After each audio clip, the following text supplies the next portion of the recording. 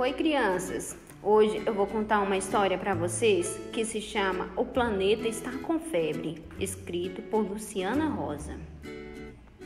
Era uma vez um planeta que não estava se sentindo bem. Estava cansado, com febre, de azul estava ficando cinza e resolveu procurar um médico. O doutor examinou e disse: Você está doente, porque está com o aquecimento global. Ah, não! E agora, doutor? O que eu faço? Você precisa ir na causa da doença e é muita poluição e, por, e é por isso que está doente.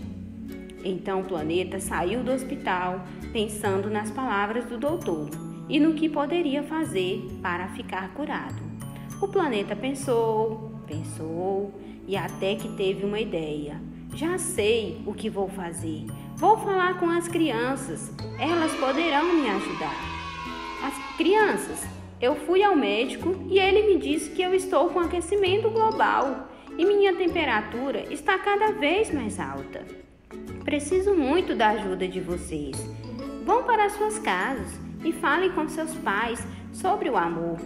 O amor protege, não machuca, respeita, não maltrata e preserva o que se ama. As crianças falaram: Pode deixar, nós vamos ajudar. Quando as crianças chegaram em casa, falaram com seus pais sobre o amor. E os pais também resolveram ajudar. Plantaram árvores, economizaram água, não jogavam mais lixo nas ruas e começaram a cuidar dos rios, retirando o lixo com o rio limpo, os peixinhos ficaram felizes e o planeta ficou curado. E assim, todos ficaram felizes com a saúde dele. Essa foi a nossa história de hoje. Espero que vocês tenham gostado. Beijos e até logo.